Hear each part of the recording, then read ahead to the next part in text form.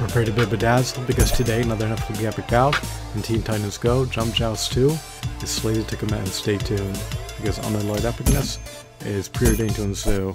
I'm going to be leveraging the one and only illustrious, revered, venerated, renowned, legendary Beast Boy.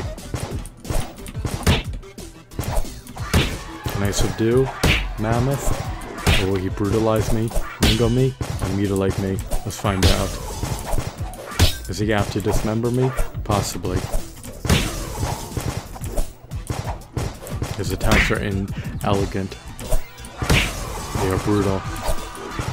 They are savage. Is he a bestial savage? Of course. Is he a menace? Yes. Is he a perpetrator? Yes. Is he an assailant? Yes. Is he malicious, sadistic, cunning, conniving, iniquitous, and devious? Of course. Is he malevolent? The axiom that he is, is not deemed to be a heroic character.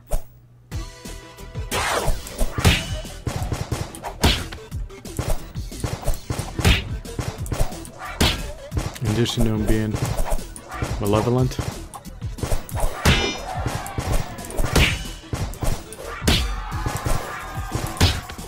he's also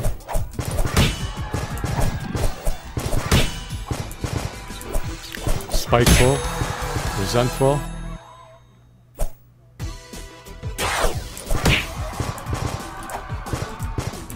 and hostile.